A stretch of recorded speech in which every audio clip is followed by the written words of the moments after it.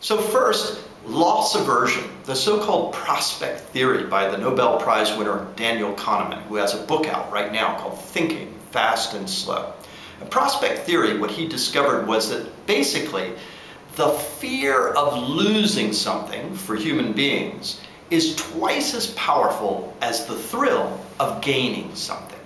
So if you could imagine all your communications and marketing going through that filter, then you might turn things upside down on occasion. Because what you're really talking to is a, a human who is more afraid of losing something than they are thrilled by winning or gaining something. So that's one simple principle. Here's another one called homophily, which really means birds of a feather flock together. But within a social media construct that we have today, we're getting narrower and narrower and more and more tribal. And so we're like an echo chamber of what we believe.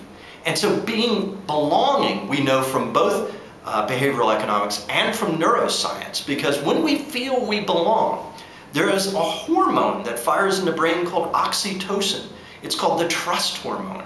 And that makes us feel warm and fuzzy and good that we feel we belong to that group. And just the opposite. When we're booted from that group, we feel terrible. It's painful. So this leads to a marketer understanding of social proof. Social proof means instead of lecturing somebody they're doing the wrong thing, you show them that the people who you really care about are already doing this thing over here. So why aren't you? Don't get left out. And that, of course, has been part of testimonial campaigns forever. So it's not something new, but it just shows you the power within behavioral economics and neuroscience of using more effective ways.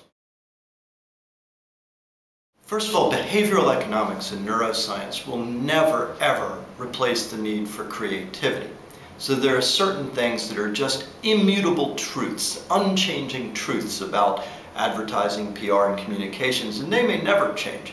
But there are levels of effectiveness now that we can increase through understanding behavioral economics in uh, neuroscience. So if you think of an example, if you look at just behavioral economics, really that is a, a, a whole uh, system of human biases. And it's understanding why we're irrational and how we make decisions based on being irrational. And so what behavioral economics helps us do is reframe messages or retell stories in a different way. But we're not doing it just to do it. We're doing it because originally we were meant to solve a client's problem or to help a client. So whether it's improve sales or improve an image or get through a crisis, those are still the issues that we're grappling with. This gives us a level of science and social science to be more effective rather than just shooting in the dark on that. And they're two very, very different things. Behavioral economics is a set of observed principles of human behavior. That we're irrational in our decision making, but we're irrational in the same way over and over again. So it helps us understand then how do we talk to humans in a way that will actually help them, comfort them into a better decision. Neuroscience is very different. Neuroscience is the study of what activity is going on in the brain as humans do things like shape an opinion or get barraged by messages. Now, where I think people go too far is neuromarketing.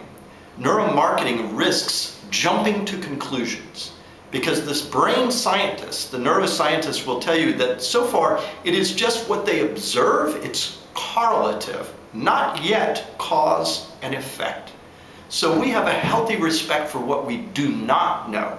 And so we are big believers in students of neuroscience, huge users of behavioral economics, but neuromarketing may be something that is too easy and jumps to too many conclusions too fast.